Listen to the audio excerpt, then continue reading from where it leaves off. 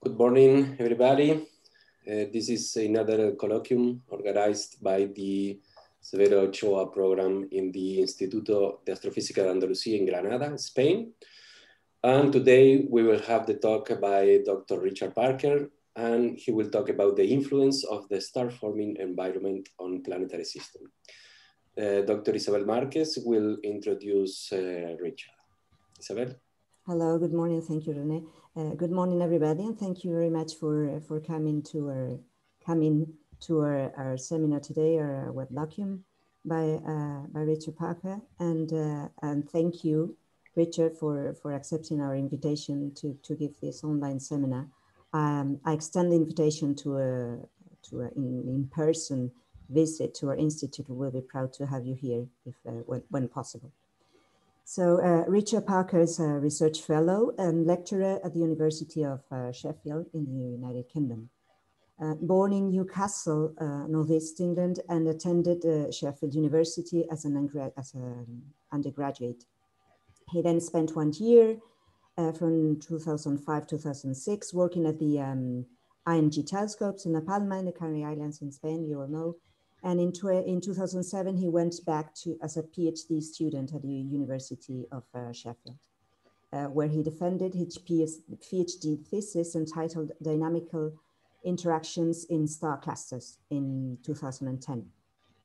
He then got a postdoctoral position at the um, ETH in, in Zurich in Switzerland, and then returned to the United Kingdom in 2014 to Liverpool John Moores University, where he held uh, your Royal Astronomical Society Fellowship. In 2016, he obtained the Royal Society Dorothy Hodgkin Research uh, Fellowship that he has uh, um, also now. His research interests cover star formation, planet formation, stellar and planetary dynamics, and using statistical methods to quantify astrophysical phenomena, mainly spatial and kinematic structure in star forming regions, so connecting planet, planetary systems with the with stars. Richard is also involved in widening participation in STEM subjects for pupils from underrepresented uh, backgrounds in Sheffield and the surrounding uh, areas. He sits on several committees within the University of Sheffield concerned with addressing the gender imbalance and lack of ethnic diversity among students studying STEM subjects at Sheffield. So th this is very well in line with what we are celebrating today since we are the 11th of February the International Day uh, for uh, Girls and Women in, in Science. So it's especially relevant for, for us. Um, today, he will talk about uh, the influence of the star forming environment on planetary systems. Thank you very much, Richard, and uh, I, give you the. Okay, thank you, Isabel. Um, good morning, everyone. I'm sorry I can't be with you in person, but um, I think this is the next best thing. And um, I would very much love to come and visit you all in, in Granada, which I've seen as well as, one of my favorite cities in the entire, in, the, in the entire world. Um, what I'm going to talk to you about today is um, sort of trying to piece together most of my different strands of research um, to address the kind of one of one of the questions I, I find fascinating from uh, many different perspectives, and that is what the potential influence of star forming regions and star forming environment is on the formation um, and the, the development of planetary systems. And um, this, this has been work done in collaboration with lots and lots of uh, different people. Um, but just in particular, I want to highlight um, two current PhD students, Christina Schoettler and Emma Daffern-Powell um, at Sheffield.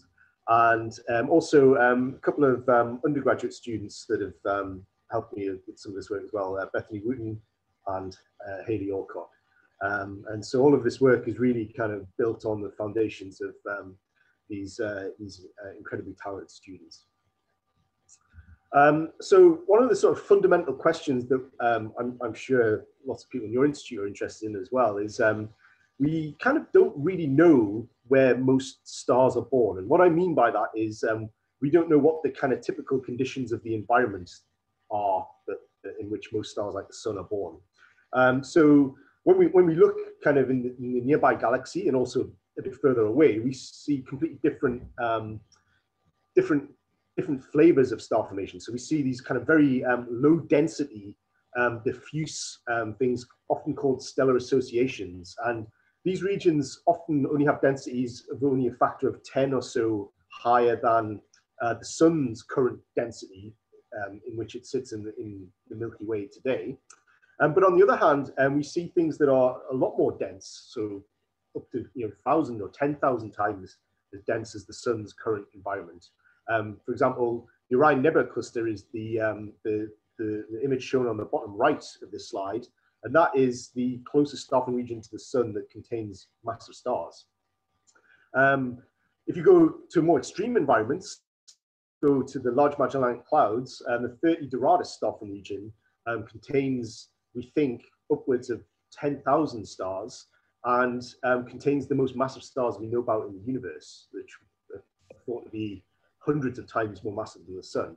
So there's a huge kind of range of, of, of kind of um, environments in which stars and we think by extension planetary systems um, can form in. But one of the things that we don't really know is what the um, initial um, density is for star formation. Um, so there, there's a school of thought that all stars form in very compact um, clustered um, regions and that they all have very, very high densities. But actually, if you look at the um, density distribution of young stars in the solar neighborhood, um, there's, there's quite a range. So this, this diagram here is showing the cumulative distribution of the densities of young stellar objects in the nearest 400 parsecs to the sun. And you can see that there's, there's, there's a smooth continuum in this graph, okay? So we're going from very, very low densities all the way up to very high densities. Oops, and I've just gone forward a slide.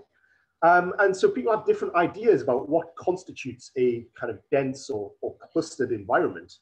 Um, and the, the vertical lines just show that you know people essentially choosing values almost at random for what they think you know defines a star cluster or a, a, a, you know, a collection, a dense collection of stars. Um, all I would say here is that I'm, I'm very much sitting on the fence on this. Um, I don't really think that you necessarily have to define clusters based on a, a, density threshold. And the different densities are important for different things. So when you're at very high densities, so you know, 200 stars per cubic parsec or so, those densities can directly affect planets that are forming around stars. So you can change the orbits of planetary systems, and I'll talk about that later on. Um, but also, if, if, you go to lower densities, then they're not really any less important. Um, if you have very massive stars, they um, emit um, high amounts of um, ionizing radiation, and that radiation can disrupt or change the um, disks from which planetary systems form. So there's a huge range of, of stuff going on given for a given set of stellar densities. And one of the things that I'm going to try and unpick in this talk is you know, which density regime is important for, for, for different um, processes. So there's a, a, a, problem with trying to work out what the typical density is for star forming regions. And that is um, something that I've called the, the density degeneracy problem. And so what you're seeing on this graph is the evolution of um, density um, in uh, n-body simulations of star forming regions. So these, these n-body simulations are, are, are, set forward in time and the only physics really that is included is Newton's second law, so the force due to gravity of all the stars on each other. Um, but what you see is when you start in a very dense star-forming region, so um, around about a thousand stars per cubic parsec, then the star-forming regions are very, uh, very much out of equilibrium and they try and relax and they do that by expanding. And so you can start off with very, very high stellar densities and then rapidly over time, these densities decrease to much, much lower values. Now, if we plot the values for nearby star forming regions on this diagram, you can see that they're very much consistent just at face value with these star forming regions starting with much higher densities. So the, the red symbols here are corresponding to the proposed initial density of these star forming regions. So the square, the red square up here is the proposed initial density for the Orion Nebula cluster, and this is the Orion Nebula cluster today. So it's still fairly dense at its current age, but the idea is that it was much more dense when it was born. And the reason that I call this the density degeneracy problem is that if you start off with lower densities initially, then you can get the same current or same present day densities. So if I flick between these slides, you can see that we're starting with uh, much, much lower initial densities, but the observations today are consistent with both scenarios, okay? So start with very high densities, and these evolve to much lower densities very, very quickly. Or if you start off with lower densities, the star forming regions don't need to dynamically relax as much, and so the evolution is less, um, less violent, less chaotic, and you can reproduce the stellar densities that we observe today. So on the face of it, this seems like um, a kind of a, a catch-22 situation where we can't really work out what the initial density is. However, we can place constraints on the initial density by factoring in other measurements. Um, in particular, if we measure the um, spatial and, and, and kinematic, the velocity information of these star regions, we can get a much better handle on the initial conditions.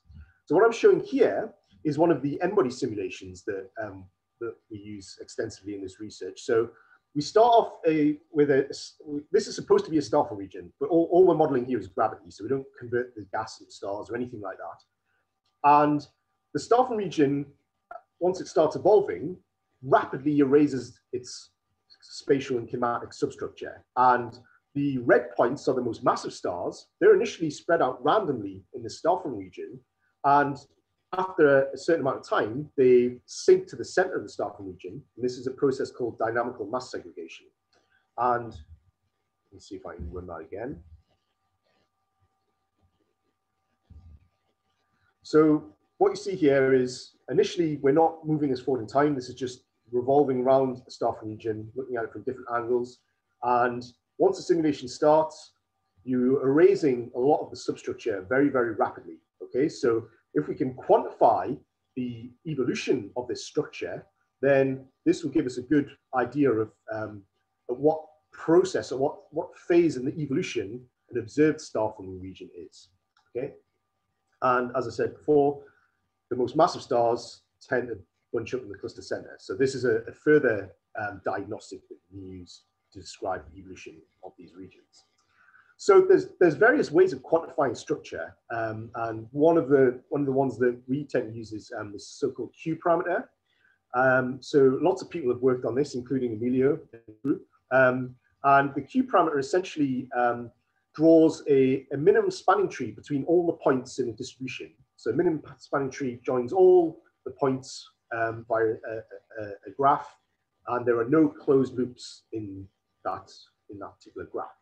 And so if you choose the, um, the mean length of the minimum spanning tree, so on the right-hand side of this um, slide, you can see all these different branches. Um, if you choose the mean length of those branches, then you have a value m bar.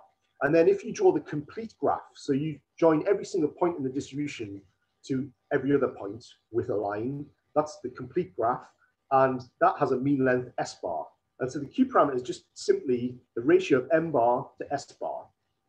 Now, if you look at something that has a large amount of spatial structure, then that has a very low Q parameter. So this particular example has a Q parameter of 0.4. But if you look at something that is kind of smooth, that looks like the end point of the animation that I just showed, then that has a, a much larger Q parameter, um, tends to be above one. And so what we can do is we can quantify how much structure a star forming region has based on this relatively simple measure. And so we can then go back to our um, our our plot of the evolution of the density. So these, this is the very very dense star forming regions that are evolving very very quickly, and they're starting off with a large amount of spatial substructure. So the Q parameter down here is very very low, but you can see that it rapidly attains very very smooth morphologies in a very short space of time. So we're wiping out the primordial structure very very quickly but interestingly, what you can see, if I plot the same observational data that sometimes is consistent with the uh, present day densities, the Q parameter, so the measure of structure for these observed star regions, is very different from the simulations. So the simulations with very, very dense initial conditions are in the main inconsistent with the, um, with the observations. So that's putting some sort of constraints on the initial density of the star region. And if I go to the lower initial densities, so here we're still producing the present day densities of these star regions, but you can see that the Q parameter, the observed Q parameters are lying on top of the simulated values. And so I always have trouble saying this the correct way around. The correct way around to say it is that the simulations are consistent with the observations for these low density um, initial conditions. Um, so here we're kind of placing constraints on the initial density of some nearby star-forming regions by saying, okay, the initial density is probably no more than around 100 to 1,000 solar masses per cubic parsec. But that's still a very dense environment. Um, and we can add further information as well. So one of the things that we've been working on the last couple of years, and really this has been driven by um, Christina Schoettler, who's a PhD student who's been working with me. Um, Christina's been looking at um, stars that are, are, are, either runaways from their star region, so they've been ejected at high velocity, or um, the stars that have been ejected at much lower velocities, which are called walkaway stars. And the number of walkaway stars that you get from a star region is a strong function of the initial density. So the higher the density of star region, the more dynamical interactions you have, and the more stars are ejected at significant velocities. So on the left-hand side of this slide, you're seeing stars of different masses ejected um, over time in the simulation. Um, and the high density scenario, you get lots of ejected stars. Uh, for the lower density scenario, you get much fewer ejected stars. And so what we what we're doing with this work is we're, we're, we're using the Gaia telescope to say, okay, I'll look around the periphery of a star region and we'll simply count how many runaway and walkaway stars we see and determine what the likely initial conditions of that star region were. So this is that in practice. So what we're seeing here is um, color magnitude diagrams um, for the Orion Nebula cluster. And um, we're looking in particular for runaway stars. So these are defined as having velocities higher than 30 kilometers a second. And then we're looking for walkaway stars that have velocities between five and 30 kilometers a second. And basically the, the red points with the error bars on the left-hand side, the left-hand plot, are um, runaway candidates in two dimensions from the ONC. So you can see that we see a few of them. But if you look at the right-hand plot, you can see that there are way more stars are ejected at much smaller velocities, um, so-called walkaway um, velocities. Now, before Gaia, we might have been able to pick a handful of runaway stars around the outskirts of the ONC, and people have been doing that for several decades, actually. But it was very, very difficult to pick out walkaway stars from um, Gaia, sorry, from from kind of you know proper motion archival data and that kind of thing. It's really Gaia that's kind of completely revolutionized this area, and it's allowing us to place strong constraints on the initial conditions of these star-forming regions. And this is kind of tying together where Christina has added some radial velocity information and determined which stars are probably runaway and walkaway candidates in three dimensions around the ONC. So what we're doing is basically trying to build up kind of more and more information on top of each other to try and constrain the initial conditions of star regions. So why does this matter for planet formation? Well, I mentioned a few slides back, we think that planets basically form at the same time as stars. If you look um, around um, young stars, they all seem to have an excess in their spectral energy distribution. They have an excess of flux at infrared wavelengths, and this is attributed to the presence of a disk around the star. And the fraction of stars that have this infrared excess, this disk fraction over time, um, decreases quite significantly. So it's suggesting that most young stars that are only a, a one or two million years old have these disks that could potentially form planets. And then older stars don't have the disks, either because they've already formed planets or because the disks have been destroyed or, or they've dissipated. Of course, now with ALMA, we can actually directly image a lot of these disks around young stars. And there's been an incredibly large amount of work done on this. Um, and we're getting really good kind of population censuses of um, disks around young stars. And then this plot is basically the same thing. It's just um, you know adding more data. Um, and again, this is just looking at um, infrared excess in star-forming regions. But you can see that there's a significant um, significant uh, fraction of, of young stars that have disks, and then that drops over time. So what's responsible for this depletion in disks? So I mentioned before, it, it could be planet formation, um, but it could also be um, destruction from outside effects. So I mentioned that some star-forming regions are, are dense enough that um, their disks can be directly truncated due to interactions with passing stars. But at lower densities, um, in lower density star-forming regions, disks can be destroyed by the radiation from very massive stars. So this is a very famous image of the Orion Nebula Cluster. And the boxes in this image are zoom-ins of young stars that appear to have um, disks shown in silhouette in the strong radiation coming from the massive stars. And these disks appear to have um, this sort of little kind of like tails or, or ionization fronts where they're kind of consistent with being disrupted by radiation from the massive stars. So this appears to show disks being destroyed kind of and, and being caught in the act of being destroyed. Now, this is predicted from simulations. Um, so if you um, calculate how likely it is to evaporate um, gas particles from a disk, you actually find that this is a very, very, um, very rapid and very efficient process. So this is some simulations from Haworth et al., um, where he's modeling um, the disruption of a protoplanetary disk under the influence of radiation fields of, of different strengths. So um, up here we've got um, 10 G naught. So G naught is the strength of far ultraviolet radiation in the interstellar medium. So this is 10 times the strength of the radiation field in the interstellar medium. And down here, um, if I get my pointer back, you have uh, 10,000 times the strength of the radiation field in the interstellar medium. And so you can see that for the, the, the, the disks where the uh, radiation field that is bathing them is um, 10 times that in, in, in, in its medium, you're still destroying the gas from the disks very, very rapidly, so within 10 million years. But if the radiation field is much higher, um, this is shown by the, the black dashed line here, then you're destroying the, the, the gas from the disk within a couple of million years. And the solid lines are just showing what happens to the dust. So the dust generally isn't affected by photoevaporation. It's just the gas. But interestingly, the typical radiation fields in star-forming regions where there are massive stars are much, much higher than the interstellar medium. And you can have values that are 1,000, 10,000 times the radiation field in the interstellar medium. And so what we've done is we've modeled um, in our n-body simulations, uh, we haven't actually included the disks in the simulation themselves. We've done something called a, a post-processing analysis where we've taken the data from the simulations and then after the fact, we've assigned disks to these stars. And we've looked at, given the amount of radiation the star receives over time, what would happen to its protoplanetary disk. And because the stars are moving around the cluster, you have different radiation fluxes at different times.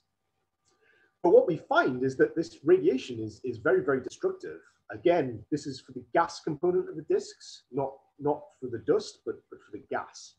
And what you see on the left-hand side is a reasonably dense star-forming region. Um, it's got a density of about a thousand solar mass per cubic parsec. And the disks um, is what we're showing in this plot is the fraction of disks remaining over time. And that fraction of disks decreases quite, quite rapidly. Um, and these disks are initially 10 AU in radius. So they're very small disks. And if we decrease the density, so if you go towards the right-hand side of, of the slide, we're decreasing the density by a factor of 10 in the star region each time. And you can see that the fraction of disks that survive steadily in increases. The gray points are the um, observed disk fractions that we see in star regions. Um, I, it's a bit cheeky to kind of compare the two because those, those observed disks are predominantly dust, right? They're not gas, but it's just kind of to try and kind of give you some idea of, of how quickly these processes are thought to happen. Now, this has constraints for the birth environment of our own sun. Okay, so in our solar system, we've got two gas giants, Jupiter and Saturn, that could only have formed if there was a significant amount of gas left in the protoplanetary disk when they were forming. So if the um, protoplanetary disk that formed um, the sun was more than a, about 10 AU, then what you see, this is shown on the, the right-hand side of the slide, um, you see the disk fraction is very, very, very, very rapidly decreases over time in these star-forming regions. So there's virtually no disks left after about 4 million years. So if you're wanting to form gas giant planets like Jupiter and Saturn at, you know, 10, 20 AU, you're really going to have to do that quickly if there are massive stars in the star-forming region that are emitting this radiation. On the other hand, you can just about get away with forming Jupiter and Saturn if they are forming much, much closer to the star, so within 10 AU um, in, in the protoplanetary disk. And so almost immediately, we're beginning to place constraints on the birth environment of our solar system. Now, another thing that we've been looking at in particular concerning the, the, the evolution of protoplanetary disks is um, an apparent correlation that exists between the mass of a protoplanetary disk and how far it is away from a massive star. So what this plot is showing is um, on the on the um, x-axis is the distance from the most massive star in the Orion Nebula cluster, Theta 1 Ori C, and the, the y-axis showing the mass of the disks. And so what you see is apparent correlation where the further you are from the massive star, the more massive the disk is. And the interpretation of this up until now has been that this is because if you're further away from the massive star, then the mass of the disk is going to be bigger because you're not suffering as much radiation flux. Now, I don't agree with this interpretation at all. Um, I, but it, it, it's, it, it's been observed in other star-forming regions as well, this, this correlation. So this is Sigma Orionis. Um, this is a, a lower density environment than the Orion Nebula cluster, but you see the same thing. So the further you are away from the most massive star, the more likely it is you're going to have a massive disk. Um, and this is, this is shown on the right-hand side of this plot. The reason I don't agree with the interpretation that this is due to um, the radiation from massive stars is um, a combination of two things, projection effects and dynamic evolution, which we've seen happens a lot in these, in these star-forming regions. So for example, if I have a star cluster and I've got a massive star in the center that is emitting this radiation, and I say, okay, well, the disks within a certain radius of that star are going to be depleted by that radiation field. They're going to be evaporated by the radiation then if I look at that in um, three dimensions, if I have all the information, then I would expect that the, the stars in the central regions would, the, the disks would lose their, their mass um, very, very quickly. So this is, this is showing, um, this diagram here is showing disk mass against distance from the star. Now, again, this is just for some fake data that I've created. Um, but the expectation would be that you would reduce the mass of the stars that are closest to the, um, the massive star. Reduce, sorry, reduce the mass of the disks that are closest to the massive star. However, it, you're looking at the star region in two dimensions most of the time. And so the disks that are affected by radiation, shown by the red points here, um, are going to be confused with disks that are either in front of the center of the region or behind the center of the region. And you can't disentangle them because it's a 2D, two-dimensional projection. And so almost immediately you can see that any correlation between the mass of the disk and how far it is from the massive star is going to be blurred somewhat by these projection effects. The second point as well is that we've modeled this in simulations and we can't find any evidence of a dependence on the, the, the mass of the disk um, as a function of distance from the massive star. So what we're showing here is um, in each of these panels, the blue points are um, data for Sigma Orionis, the orange points are data for the Orion Nebula cluster, and the pink points are data for NGC 2024, so another star-forming region containing a massive star. And we're showing the mass of the disk versus the distance from the most massive star in those regions. And the black points are data from our N-body simulations, where each star has been assigned a disk, and then depending on how much radiation experiences, that disk may be destroyed or it may lose some of its mass over time. And so what we see is we see very little dependence on the mass of the disk as a function of how far away it is. And furthermore, if we look at the fraction of stars or the distribution of stars that have disks versus those that don't, we see that actually those two distributions lie on top of each other. So to begin with, before we invoke any sort of um, photoevaporation, um, the disks that are surviving have this distribution um, shown by the open histogram. And then the disks that are destroyed, so these are stars that don't have disk anymore, they have this distribution in space. So this is the distance from the most massive star. They have this distribution. And you can see that over time, we reduce the number of stars that have disks. So the black histogram is decreasing and the red histogram is increasing. But those two distributions lie on top of each other. So there's no, there's no dependence on how far away you are from the massive star in terms of whether you have a disk or not, or whether your, your, how massive your disk is. And this actually makes sense if you think about it, right? I showed some animations earlier on of the star forming region evolving very rapidly in time, and the stars mix with each other. They mix around, they move around the cluster. You don't expect the stars to kind of sit almost like sunbathing on the beach, waiting for this radiation to come at them, and then kind of happily sit there. That's not how gravity works. The stars move around. So what is responsible for this correlation of uh, disk mass with increasing disk from increasing distance from the massive star in these star regions, um, I don't know, but I don't think it can be explained just from the flux coming from the most massive stars. If we compare the, the simulation data to observations of stars that have disks versus those that don't in the Orion Nebula cluster, and this is shown um, by this um, histogram on the uh, left-hand side of the slide, then you basically see the same thing you see in the simulations. So the, there, there are stars that have disks, there are stars that don't, and those two distributions essentially lie on top of each other. And so you know, what's causing this correlation, um, we're still at a loss to explain. So I've talked about destroying disks. So say that you somehow survive the, um, the, the, the, the, radiation fields from massive stars, um, or say you form a star region where there aren't massive stars that are giving off this radiation, um, you can still affect the orbits of planetary systems in star-forming regions. So this is a plot um, showing, it's a few years old now, um, I should really update this, but it's a plot showing the eccentricity of extrasolar planets, shown in black, versus their semi-major axis um, from their host star.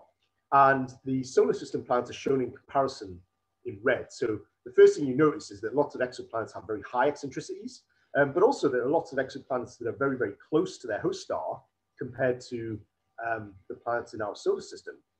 And furthermore, a lot of the planets that are close to the host star are Jupiter mass or even higher. And so conventional planet formation theory tells us they can't form there. So something or some things must have moved them closer inwards. Now, there can be many processes that can do this. So you can migrate, planets can migrate very efficiently in disks.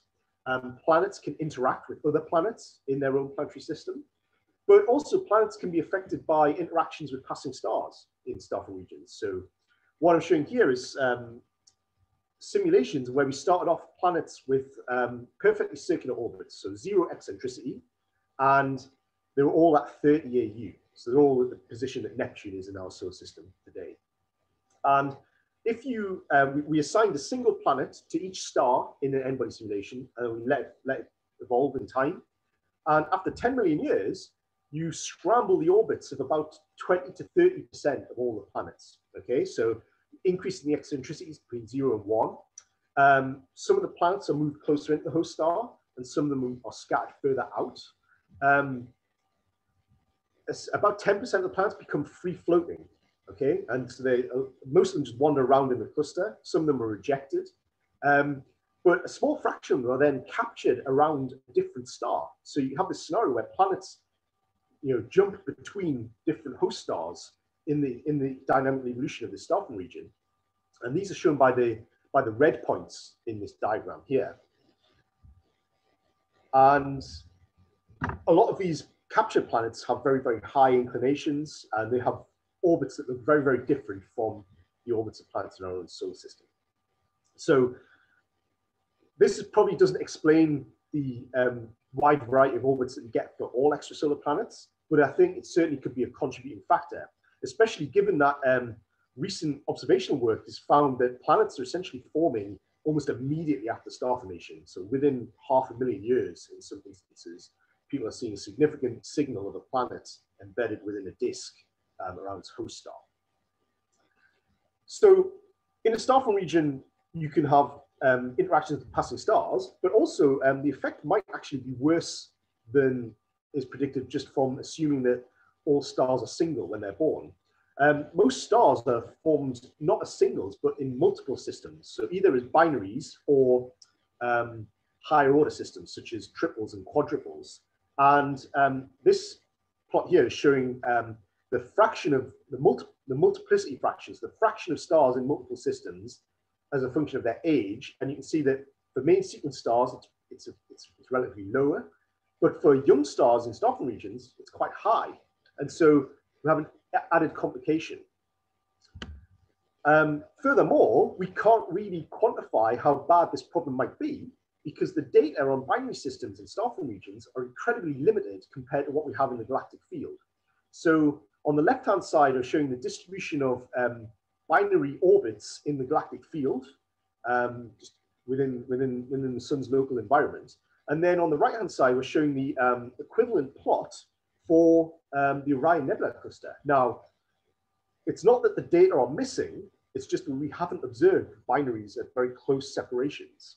So on the um, on this region of the, the right-hand side, the right-hand panel, um, we simply haven't measured the orbits of binaries using spectroscopy in the Orion Nebula cluster. Um, and we have no idea what the binary properties are for these close systems. Um, we think they're probably there, but we just haven't observed them yet. However, I'm sure you all know planets are not precluded from forming binaries. So Kepler in particular has found lots of um, circum uh, binary planets, so planets orbiting a, a, pair of stars. And also um, people have found um, where, where they've looked for companions to close planets, they've often found a stellar companion at quite some distance from um, the, the, the, star that the planet is orbiting. Um, this is a kind of nice arts impression that we had um, commissioned for um, a press release we did with a, a, paper a couple of years ago. I'll talk about the paper in a minute. Um, but this is just kind of give you the kind of classic sort of two suns in the sky science fiction. You know, it used to be science fiction, but you know, we're getting to the point where we're, we're finding lots of planets that maybe do have two suns um, in, in, the, in, the, in the sky. So what, what, what can be the added um, problem with having binary stars? Well, th there's a few things. So um, there's, a, there's a thing called the, um, well, it's not really, the, it's not just the Kozai mechanism, it's the von Zeipel-Lidov Kozai mechanism. So, so independently discovered by uh, three groups of researchers. Um, but basically, if you have a, a system where you've got two massive objects and then a low mass object, if you change the orientation or the inclination angle of um, the, the massive objects, then you can have a transfer of angular momentum onto the less massive object. So this would be applicable to um, planets forming in binary systems. Um, if you have a transfer of angular momentum onto the, onto the planet from this, um, this change in the system, then this is what would happen if we put our solar system, the gas giants, the ice giants in our solar system, in a binary system that was subject to the Kozai mechanism. So the first thing you see happen is that you excite the orbit of the outer planet, um, in this case is Neptune, and then that in turn excites the orbit of the next planet. And, and Neptune Uranus actually swap positions due to the, the large eccentricities that they obtain. And eventually, the system becomes so chaotic, you end up ejecting the two outer planets, Uranus and Neptune, and significantly increasing the, um, the orbital um, variation of Jupiter and Saturn. So could this potentially um, explain some of the orbits of exoplanets? Well, we think it could. Um, so on the left-hand side is some work by uh, Wu and Murray, um, where they're showing the change in orbit of a, a Jupiter mass planet that's been subjected to the Kozai mechanism. So what you see is um, significant variations in the eccentricity of the planet, um, and that basically has the effect of um, it, it, damps the orbit of the planet and moves the orbit of the planet closer to its host star. So this planet started off at around about 5 AU, and then it finishes off, the semi-major axis of the planet finishes at around about 0.2 AU from the host star. So this is a potentially a way of creating um, hot Jupiter planets. Um, the Kozai mechanism is very much dependent on the initial stellar density in the star forming region, going back to, to what we were talking about at the start of, um, of the presentation. And um, the plot on the right-hand side, I like to tell people that this is the only plot from my PhD thesis. So my PhD was, uh, it's about 11, 12 years ago now. But the right-hand plot is the only plot that's still relevant of all the 120 pages or whatever in my PhD thesis. Um, and, and, and in some ways, I'm, I, I kind of heartens me that you know, the field does kind of move on, um, even if some of, some of us don't.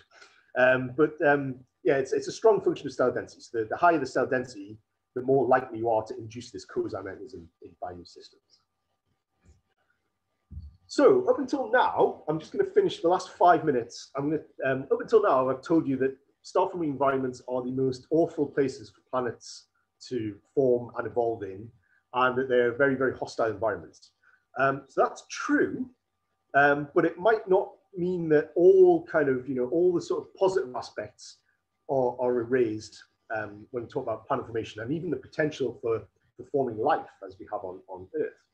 So the first thing I want to talk about is, um, is, is, is basically increasing the size of the habitable zone around a star or stellar system.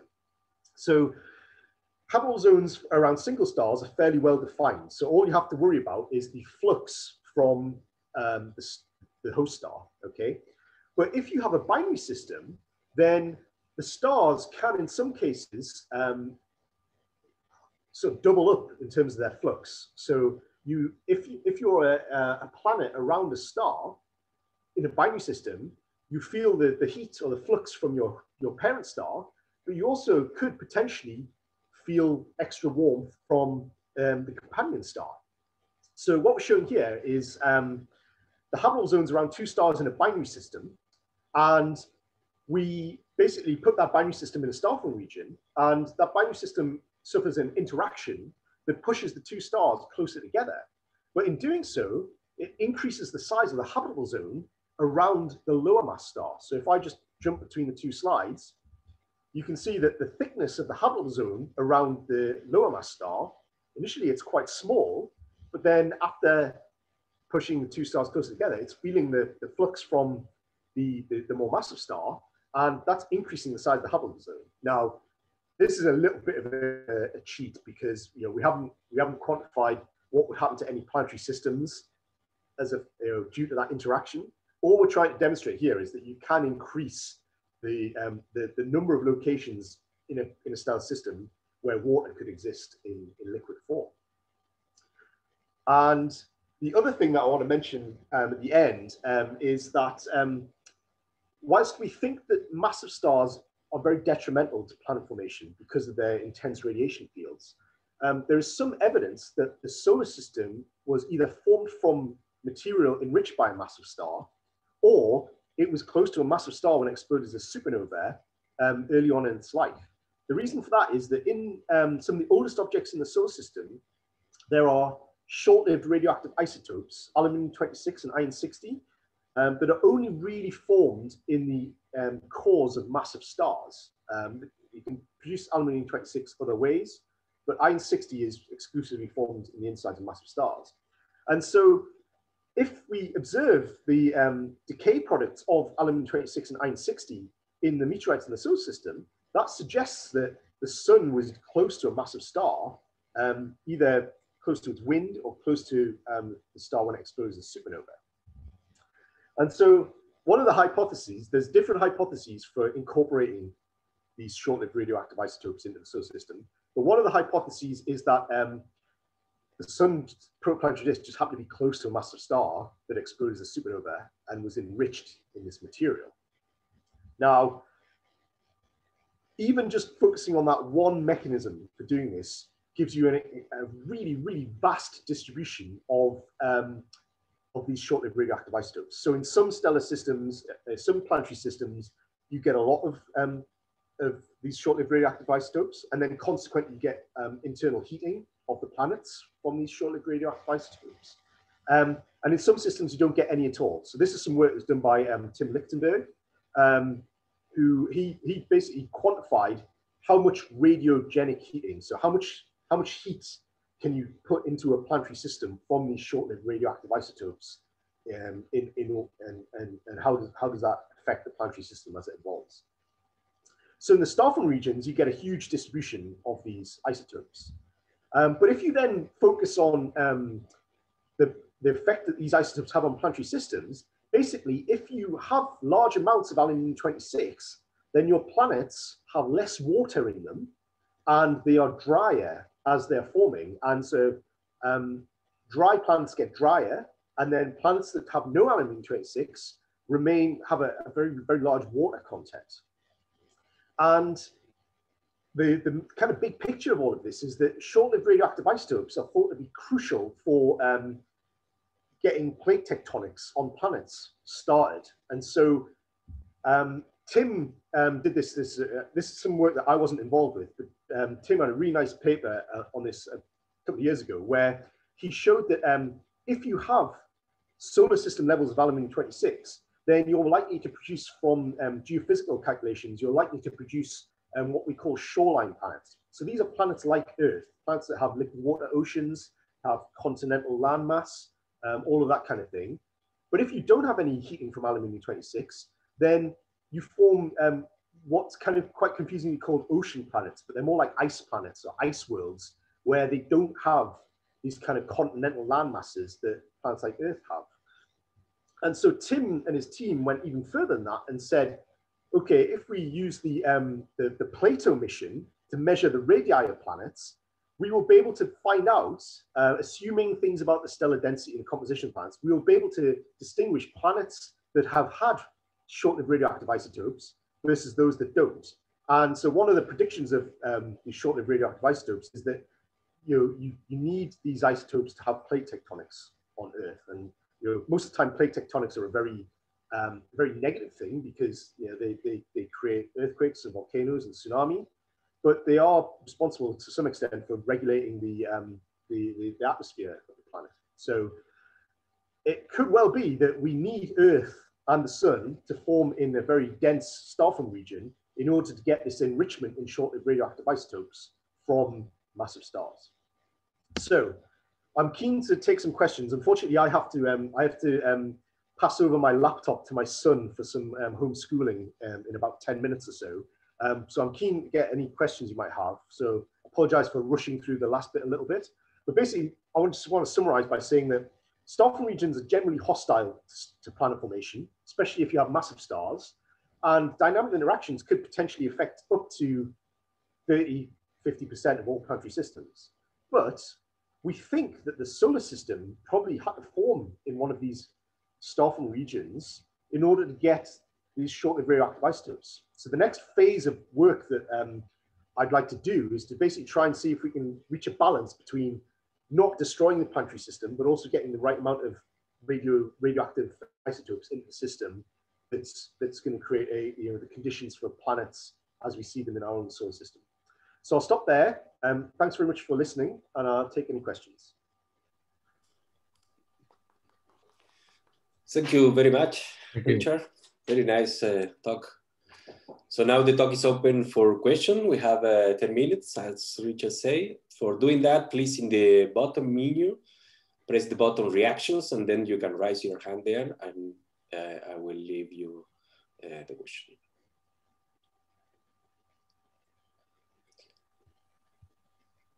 Emilio, do you say okay, or do you want to add something? Yes, yes, I would like to do some question. Uh, congratulations, uh, Richard has been a very inspiring uh, talk. Well, my question is about the, the, the, you know, the initial part of the talk uh, when you were talking about the, the cluster mass density.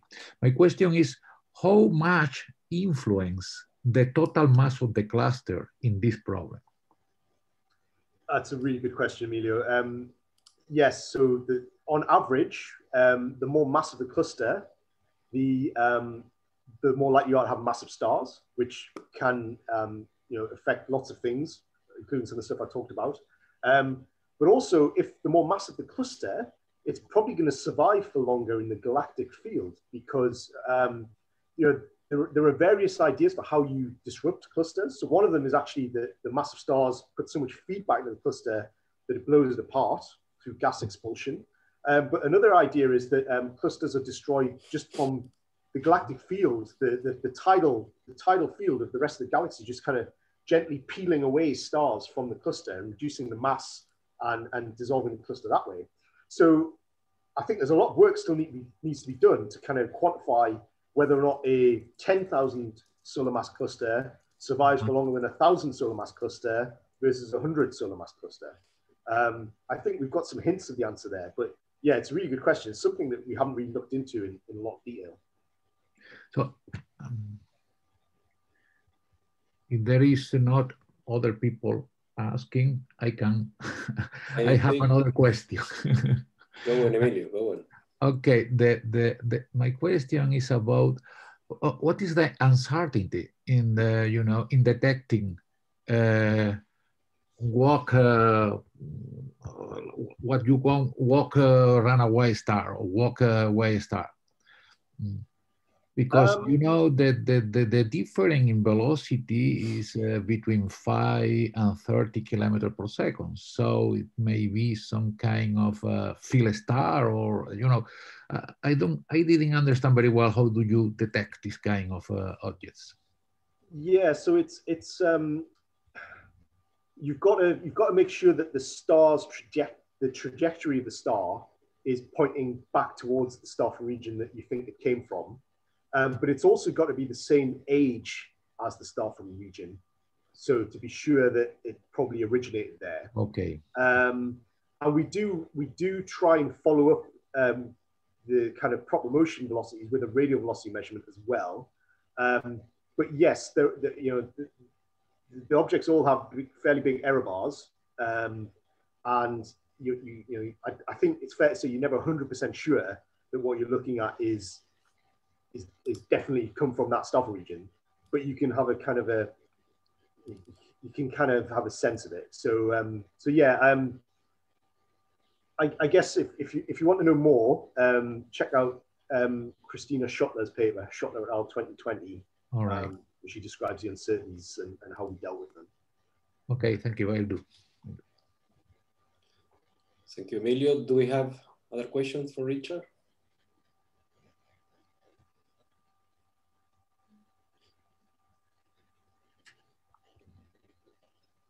So I have one. I was very interested in the part that you mentioned the aluminum 26 to form terrestrial planets. Otherwise, the tendency is to form ocean water planets. Um, so this is really necessary to form the, the terrestrial planets or in, a, in, in, in any kind of disks uh, in the interior part, uh, if we have uh, silicates uh, there we can form terrestrials without the uh, help of aluminum 26 because this aluminum 26 is only favorable for a differentiation of the planet. Yeah, so it's important. I, I, should I should have been a bit more careful with how I said this. So it it doesn't stop you from forming terrestrial planets if you don't have aluminum 26. Right. Those planets will still be how you imagine terrestrial planets are, right? They will still be, like you said, predominantly composed of silicates. However, they will have a thick, we think they will have a higher water content, which usually would kind of manifest itself as being um, the, the, the top layer of the planet's mantle and crust will have a high kind of water or ice content. But it's still a, it's still a terrestrial planet. Um, and it's, it's only something like Plato where you will be able to say, okay, that planet has a very, very slight different radius because it underwent heating from aluminum 26. So it's, it's I, I, I, I should have been clear. You can still form terrestrial planets without aluminum 26. Right. Okay. Now it's clear. More question for Richard? We have three more minutes. He need to go. So and I, I understand from this answer that the you assume that the water on Earth is intrinsic from the disk. It's not exogenic. Um, this is a very nice point that I am asking myself also. No, I think. Well, I think I think the water still probably has to be I think so. I think there's this the you know, the grand tack model for, for, for the for the Right. evolution of Jupiter and Saturn in and then out again. I think that's where you deliver. I think well, as I understand it, that's the current idea for how you deliver most of the water to Earth.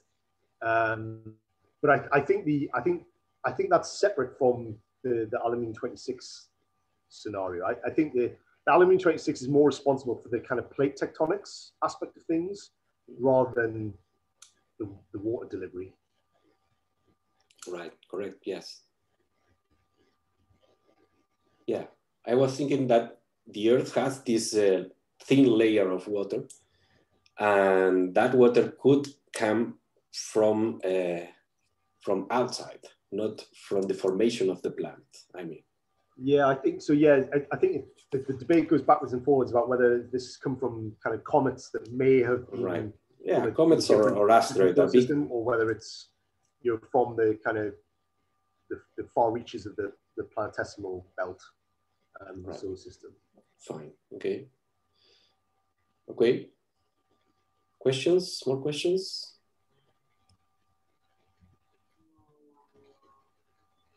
Emilio, you open your micro for Oh. not only to you know only to thanks uh, Richard for accepting our invitation and for really this very interesting talk. Uh, I see that you are moving to the planet uh, world, and so from the star cluster, you know, um, putting together both uh, both topics is really very interesting. Yes. Well, I have the. You'll be pleased to know, Emilio. I haven't I haven't given up on cluster structure yet because I've, I have a new PhD student who just started with me, and he's working on that. So I'm kind Good. of And, I think you have a very good team right now, no? a, a- bigger team. very fortunate. Yeah, but very lucky with some really good students. Yeah. So. Good, excellent. Unfortunately, unfortunately, um, you know, the opportunities for working with the rest of Europe seem to be kind of decreasing because of our government. But um, um, you know, you should know that as scientists and, and astronomers, we, we still very much value um, you know the friendship and collaboration that we have with the rest of Europe. Um, so I certainly consider myself still still very much European, and I'm really looking forward to hopefully when this pandemic is over, really looking forward to meeting up with all of you again. Okay, in a way, I hope that um, all- this problem can be solved in the next future and everything is uh, going to the normality, as we say. Okay, thank you very much, uh, Richard, for this talk and for accepting this invitation. And uh, I hope we can meet, you know, personally, no, no, not very, not very long. Right. Just a few words from Isabel that she needs to go. She apologized. And uh, again, thank you for this talk. And uh, it will be up upload to YouTube. I will send you the link just Okay. if you want to distribute and let you go because your son is waiting for you. Uh, right. Thank you very much, Richard. Thank you. Thanks, everyone. Bye bye.